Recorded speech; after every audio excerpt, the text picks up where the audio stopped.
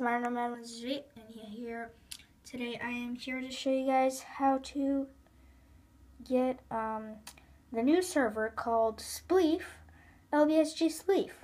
So what you want to do is tap play, edit external, then for the address, delete this whole thing, do a capital S P L E E F spleef dot L B S G dot net.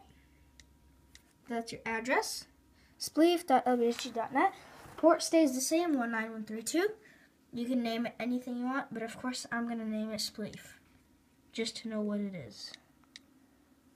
Spleef.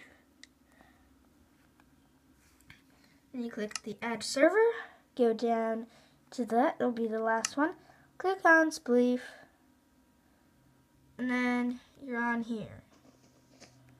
And then you can click this sign, you just normally log in, I'm gonna do that. It's um tap to teleport down to stairs, which teleports you down to here. So then you just walk into here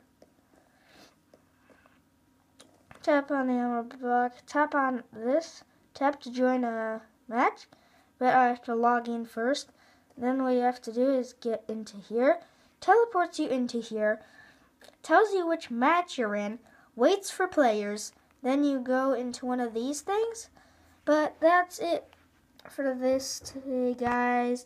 Hope you enjoyed. And I usually play on um, Spleef 7. I think. Yeah, I usually play on Spleef 7. So if you guys enjoyed. Please think about subscribing, commenting. Maybe you'll even get a chance to get into a video. Thanks, guys. Goodbye.